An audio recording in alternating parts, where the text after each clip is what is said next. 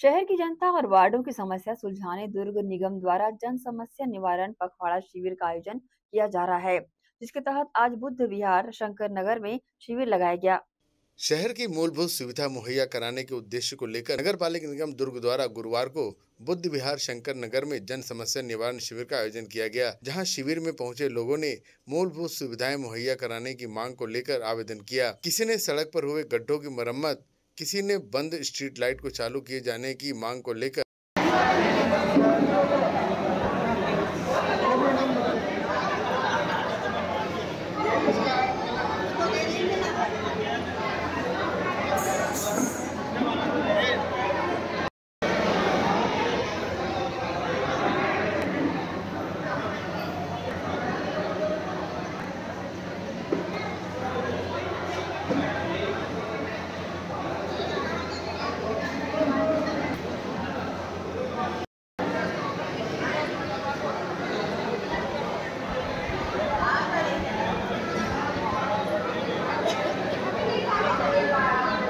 आपको बता दें कि नगर निगम दुर्ग द्वारा आयोजित इस जन समस्या निवारण शिविर में चार वार्डों का एक साथ शिविर लगाया जा रहा है। वहीं आज दुर्ग शंकर नगर में भी 10, 11, 12 एवं 13 के नागरिकों को शिविर में बुलाया गया।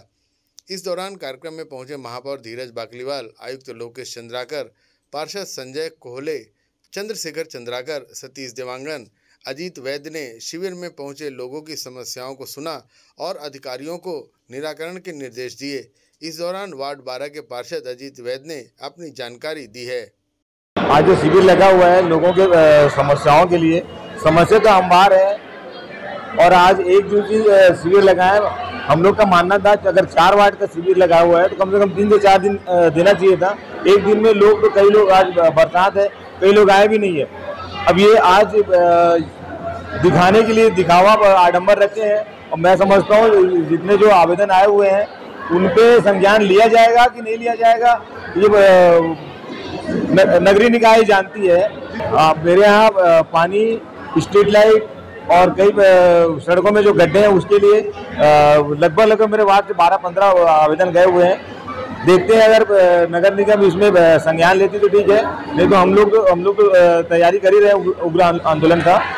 दूसरा चीज़ मैं नग, नगरीय निकाय दुर्ग से ये विनती करूँगा कि वो इस शिविर को कम से कम तीन चार दिन का रखे ताकि सभी लोग पहुँच पाए। अभी पानी गिर गया, लोग आ नहीं पाए शिविर को और तीन चार दिन बनाए एशियन न्यूज़ के लिए दुर्ग से नसीम फारूकी की रिपोर्ट।